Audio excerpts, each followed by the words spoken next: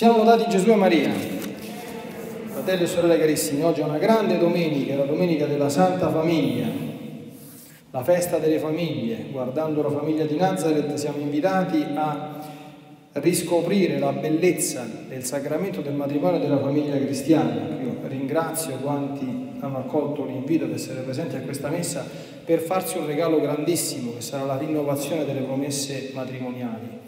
È una cosa bellissima, una cosa meravigliosa. Io vi dico che da sacerdote sono felicissimo di essere sacerdote, ma quando vedo una famiglia, una bella famiglia cristiana, credetemi, li guardo con sguardo di ammirazione, di gioia e partecipo della loro gioia, sono contento della loro contentezza. Quando vedo dei bambini dentro una famiglia mi fa un cuore grosso quanto una casa, ve lo dico proprio con tutto il cuore.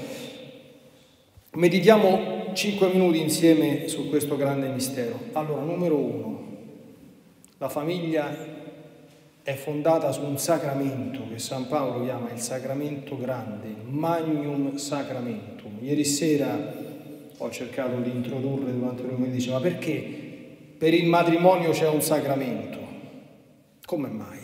Non ripeto l'omelia di ieri sera, sta già online per chi interessa, no? Ma capiamo che significa che sia un sacramento.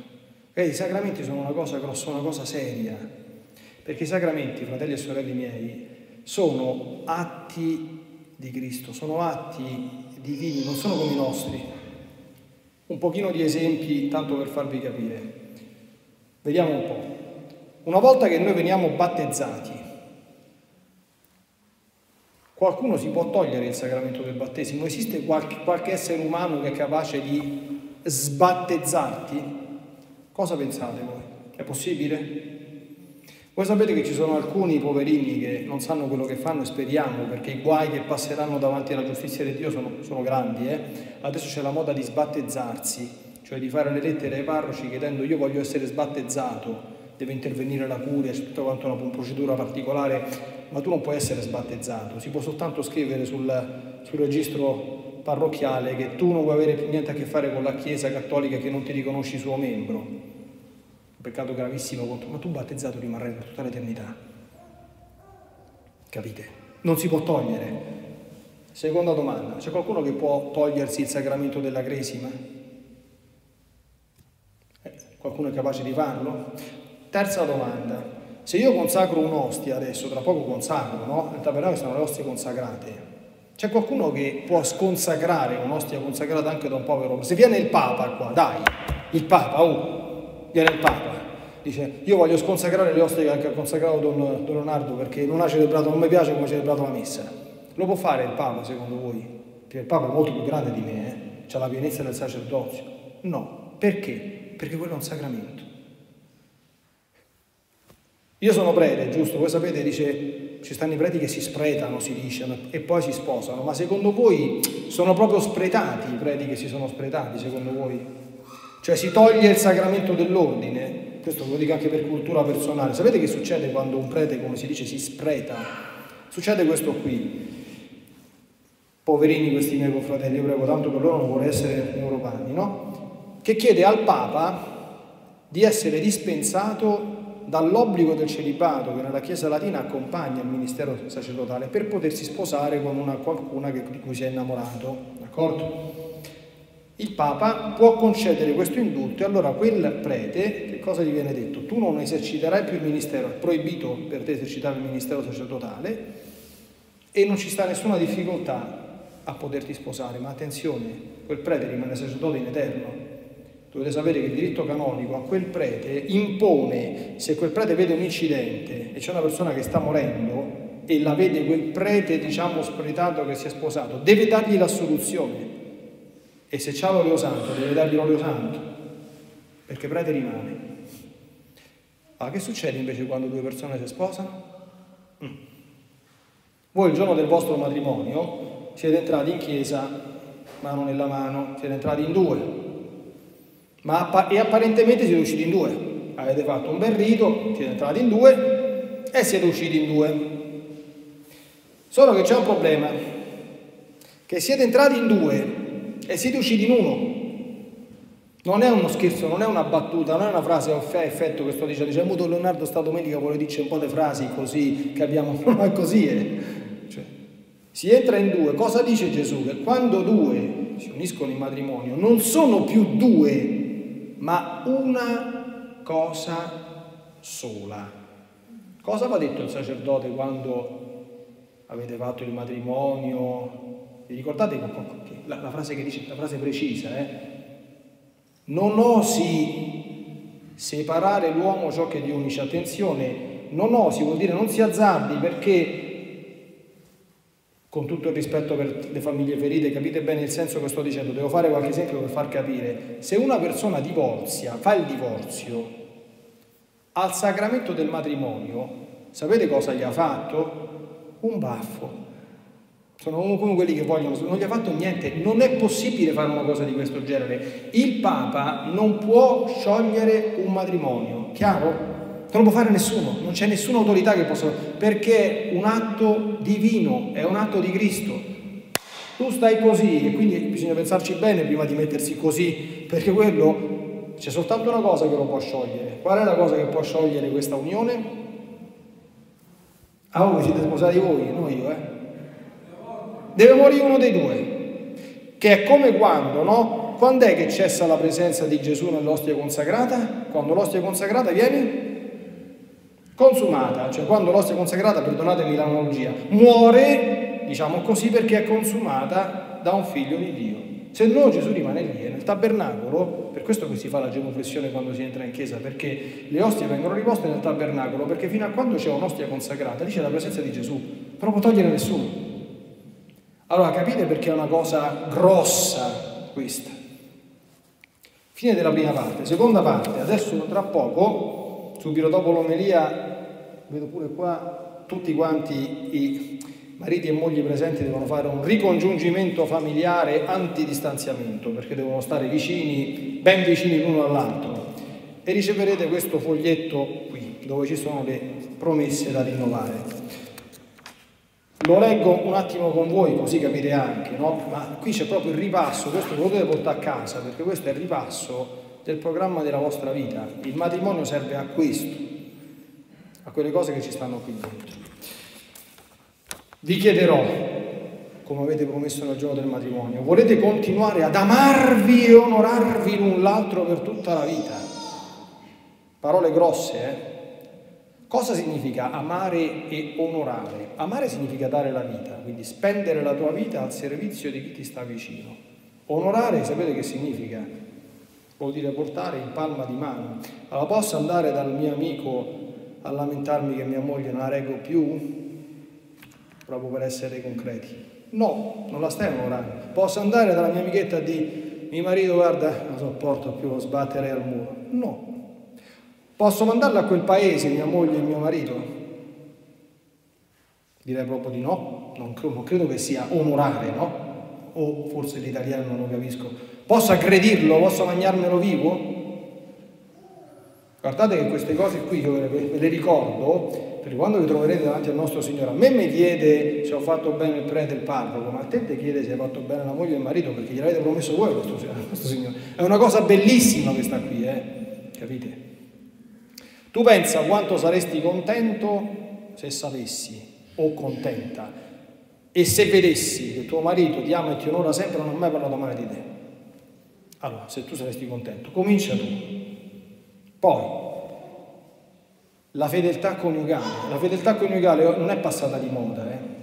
Vi chiederò, volete conservare il libato, il vincolo della fedeltà coniugale? Attenzione che non basta essere fedeli col corpo, ma anche con gli occhi e anche col cuore, perché l'infedeltà comincia sempre dagli occhi e dal cuore, da quello che guardi, da quello a cui pensi. E siamo capaci di insegnare per esempio ai giovanotti, ci avete mai pensato, spero che almeno ricordiate da, dal catechismo, no? che la Chiesa raccomanda di arrivare vergini al matrimonio, che non siano i rapporti prematrimoniali, ma ci avete mai pensato a uno dei perché? Perché? Perché la fedeltà a tuo marito e a tua moglie non comincia dopo, comincia prima. Io non sono fedele soltanto dopo, ma sono fedele anche prima, perché nessuno mi avrà se non colui a cui io dirò ti amo e ti voglio amare di amore eterno. Chi arriva vergine al matrimonio può dire alla marito o alla moglie io sono stato fedele a te prima ancora di conoscerti e puoi stare tranquillo che ti rimarrò fedele per tutta la vita. Ce l'avete mai pensato?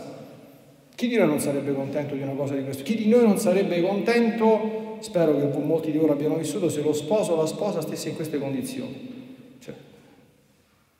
Lo so che è difficile, d'accordo, ma le cose belle sono tutte quante difficili, ma chi di noi non sarebbe contento se ci fosse una cosa di questo genere? Ancora, volete accogliere liberamente con amore con gioia, la vita è una gioia, i figli che Dio vorrà donarvi, dono immenso del suo amore, attenzione, è anche segno della fiducia che Dio ha verso di voi. Avere una vita è un atto di fiducia, il nostro Signore ti affida una sua creatura. I figli non l'avete mica fatti voi, eh? i figli voi li avete accolti, l'anima di vostro figlio l'ha creata il nostro Signore. Fare o non fare un figlio non è soltanto una scelta da nulla, perché attenzione, quando nasce una vita, questi ragazzini che stanno qui, così come voi, non saranno semplicemente uomini e donne. Tra cento anni, 120, ah, così ragazzini gli auguriamo lunga vita, qui non ci sta più nessuno di noi, eh? state tranquilli. E dove stanno questi ragazzini di oggi, secondo voi? Questi dovranno diventare cittadini del cielo, capite voi che potete fare? Cioè un figlio non fatto è un cittadino del cielo in meno, non è una cosa da niente. Capite? L'atteggiamento positivo delle famiglie cristiane verso, verso, la vita, certamente è un atteggiamento responsabile, ma positivo, capite? Che è anche un atto poi di amore verso tante povere famiglie ferite, io ne conosco tante, che purtroppo non possono avere il dono della vita. È una grande croce. E vi dico che con tanto amore non è che sono tanto contenti di chi potendo avere la vita magari si chiude, no? Sapete come dice il proverbio popolare? chi ha il pane non c'ha i denti e chi ha i denti spesso purtroppo non c'ha il pane, no? E poi i figli, educarli, soprattutto nell'educazione religiosa, cerchiamo di riscoprirlo quest'anno, perché questi non sono soltanto esseri umani, appunto, sono cittadini del cielo e per arrivare in cielo c'è un cammino da fare e il cammino glielo insegnano i genitori ai figli, prima di ogni altro. E infine chiudo. Quante volte i vostri amici, i vostri amici, quante volte mi vengono a chiedere, allora c'è una coppia d'amici, stanno a separare, stanno a divorziare, che posso fare? Che gli posso dire? Come posso aiutarli? È difficile intanto, a parte che non bisogna mai, questo mi raccomando, eh? noi stiamo parlando della bellezza del sacramento del matrimonio, non si giudichino mai le famiglie ferite, mai, cioè ci sono delle cose oggettive, ma noi non possiamo entrare dentro la vita privata delle persone, nel senso dentro il cuore, sapere che è successo, cosa non è successo, quindi mixed. Ma qual è la più bella cosa che si possa fare per una famiglia in crisi? Sapete qual è? Un'altra domanda che vi farò. Dice, volete testimoniare la bellezza e l'importanza del sacramento che avete ricevuto? E questo servirà a fronteggiare tutto quello che sta accadendo, tutti gli attacchi contro la famiglia. Cioè, sapete qual è l'aiuto che, si possono dare alle famiglie in crisi? Voi dovete chiedervi. Se un mio amico vede, vede la mia famiglia, dice, ma quanto è bello, ma perché devo sfasciare una cosa così bella? Guarda questi come sono contenti. Se un giovane vede voi, gli viene voglia di sposarsi, oppure dice, tu devo fare la fine di questo, io non mi sposo. Capite? I vescovi ce lo dicono pure a noi preti. Dice, vuoi fare la pastorale vocazionale? Ma che vuoi fare la pastorale vocazionale? Oggi i giovani hanno un seminario, ma quando è che qualche giovane si riavvicina al seminario? Se vedo un prete felice. Perché se vedo un prete depresso, dice chi devo diventare? Già ho paura da farmi prete. A volte devo diventare come questo, ma io sono scemo. Cioè la gioia e la felicità della nostra vocazione è l'aiuto più grande, la testimonianza più grande che possiamo dare. Bene, io mi fermo, mi rallegro con voi per questo dono, ci prendiamo 30 secondi di pausa, sia per fare un po' di silenzio, sia per il ricongiungimento familiare. Per favore le coppie adesso alzino il ditino, così Patrizia gli prende il foglio e subito rinnoviamo le promesse matrimoniali. Siamo lodati Gesù e Maria. Dice la predica, che è l'ultima cosa, perché dopo saranno benedette le fedi. O portare le fedi è una cosa importantissima, molto più importante di quanto si pensi.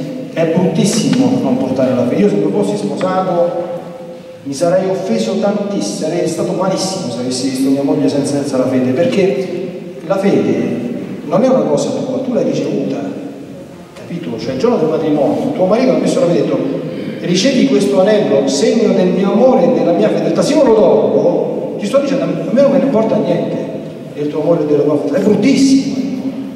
Poi c'è un altro riflesso, perché se siete felici di essere sposati, la fede la portate con orgoglio, con fierezza. Una coppia che non porta la fede, scusatemi, eh, è come un prete che non porta la tonaca o almeno il clergyman, perché oggi se lo portare il clergyman. Cioè, senza giudicare nessuno, ma l'immagine che si dà sembra quasi che tu le voglia nascondere, capito? Sembra quasi che tu non sia contento. Cioè la fede fa tre cose, guardate. Primo ti ricorda a te che c'hai il marito e la moglie, il che non guasta. Secondo, ricorda a tuo marito e a tua moglie che tu sei la moglie e il marito. Quindi c'è un messaggio per te per lui, ma poi ricorda a tutti, cioè questa è, è proprietà privata, non è disponibile per nessuno, è già, è già stata presa, arrivederci, non so se mi spiego, capite? Un prete vestito è riconoscibile in qualunque momento, se una persona ha bisogno, sapeste quante storie si raccontano, alcune le ha raccontato Pierpaolo quando, quando va in giro in treno, sapete queste quante cose che succedono. Cioè, se io fossi stato vestito in borghese, quello non mi avrebbe riconosciuto, non mi sarebbe venuto a parlare, no? Capite? Oppure in certe situazioni si spera che davanti a un prete qualche piccolo fede inibitorio ce l'ha, ma se tu non sei vestito e dopo solo comincia a bestemmiare in sacco di parolacce davanti, che ne sanno di Non so se, se cioè i segni non sono un assoluto, ma sono importantissimi, specialmente quando sono segni sacri, la fede è un segno sacro, una benedetta anche oggi. Quindi, scusate, oggi sto un po' in... perché ogni tanto ricordarci queste cose penso che faccia bene, specialmente in questi tempi. Adesso cominciamo a fare le cose serie. Ricorrendo alla festa liturgica della Santa Famiglia di Nazareth, esempio e modello perfetto di santità del consorzio familiare, siete venuti nella casa del Signore per rinnovare gli impegni solennemente sanciti davanti all'altare. Perché la Divina Grazia vi confermi nel santo proposito, vi invito dunque a rinnovare le vostre promesse matrimoniali. Volete continuare ad amarvi ed onorarvi l'un l'altro per tutta la vita, nella gioia e nel dolore, nella salute e nella malattia, la voglio. Volete conservare illibato il vincolo della fedeltà coniugale nel corpo, negli occhi, nel cuore, per tutti i giorni della vostra vita? Io la voglio. Volete accogliere liberamente, con amore e con gioia, i figli che Dio vorrà donarvi, dono immenso del suo amore e segno della fiducia che ha in voi? Io la voglio. Volete educare con dedizione ed amore i figli che Dio vi ha donato e vi donerà, consapevoli soprattutto dell'importanza dell'educazione religiosa che vi ha impegnato a donare anzitutto con la vita, ma anche con la testimonianza della parola? Sì, lo voglio. Volete testimoniare la bellezza e l'importanza del sacramento che avete ricevuto dinanzi al triste e continuo tentativo di sminuire la centralità e l'importanza della famiglia cristiana fondata sul matrimonio, che oggi purtroppo è entrato nella mentalità comune anche di molti battezzati e disgraziatamente anche in molte leggi dello Stato? Io lo voglio. Ringraziate ora il Signore per la vostra sublime vocazione ed elevate a Lui la vostra benedizione dandovi come al giorno del vostro matrimonio la mano destra.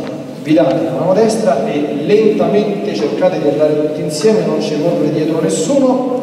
Io adesso taccio e voi leggete la preghiera invocate la benedizione del Signore. La benedetto sei Al mio tre, con calma, senza correre, non ci abbiamo fretta.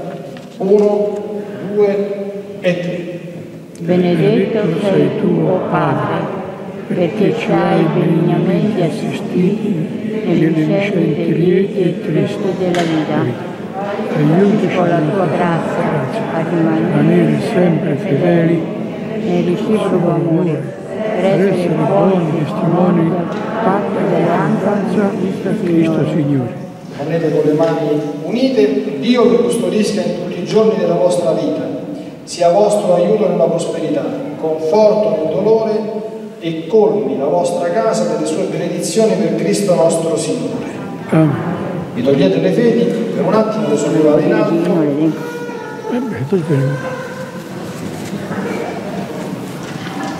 Ferma la mettete.